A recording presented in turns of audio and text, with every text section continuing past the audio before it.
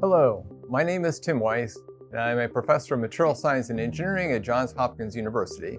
And I'm also the director of the Material Science in Extreme Environments University Research Alliance that is funded by DTRA. That's the Defense Threat Reduction Agency.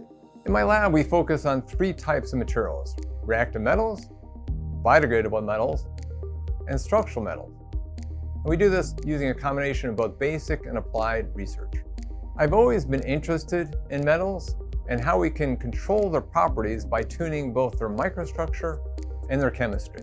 In fact, when I first arrived at Hopkins, my group and I focused on sputter depositing thick foils, but with hundreds of nanoscale layers of metals that mix exothermically. These foils served as model materials for studying both exothermic phase transformations, as well as acting as local heat sources for soldering components together. In fact, the soldering worked so well that it led to the founding of a company called Reactive Nanotechnologies in 2002, and then we later sold it in 2009. Today, we still fabricate and study reactive materials, but we focus mainly on reactive metal powders that we make by either sputtering, ball milling, and now ultrasonic atomization.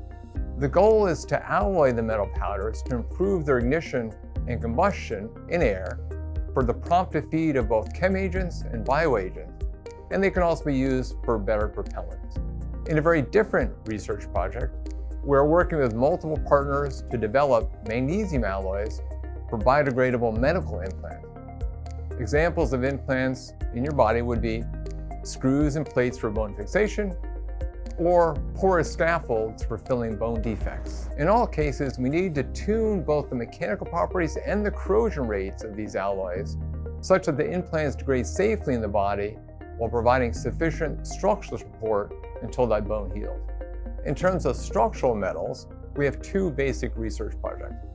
In the first, we're attempting to understand how excess vacancies can interact thermodynamically, not kinetically, with solute atoms to enhance solute clustering and thereby strengthen both magnesium and aluminum alloys.